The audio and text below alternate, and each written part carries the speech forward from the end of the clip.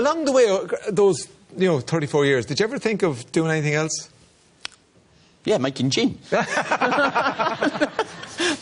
no, no, seriously. We, um, me and my wife, um, back in 2017. Um, I mean, look, I'm, I'm like most husbands. I've come up with harebrained schemes all, all the way through the marriage. Yeah, let's, let's import, import Lamborg- Lamborghinis, Bentleys, and like, no, that's a stupid idea. Mm, okay, I thought it was fun.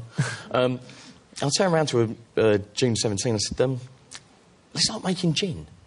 And she was like, that's actually a good idea. Oh, oh hello. Um, and I had no idea where to start. Following day, we went to a friend's birthday party. Um, chatting away to her husband, I said, "Yeah, we're, me and Bev had a chat yesterday. We're thinking about um, starting to make gin." I said, "No idea where to start." He said, "Oh, speak to Paul. He's got a distillery." Right. Yeah, and that was Just that. and that was it. What's the name of your gin? Neat.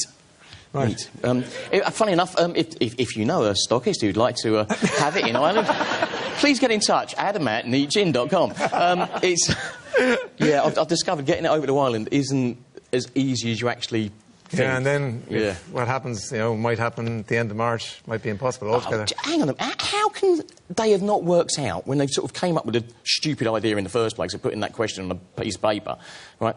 You can't just have yes or no for staying in. It's a little bit more complicated than that. it's your right? government. You tell them when you go back home. Well, before we even had the vote, I said, what are we going to do about Ireland? Yeah. Now, if I can work that out, and I'm not a politician, why couldn't they? Yeah, yeah, well, we don't, I don't know the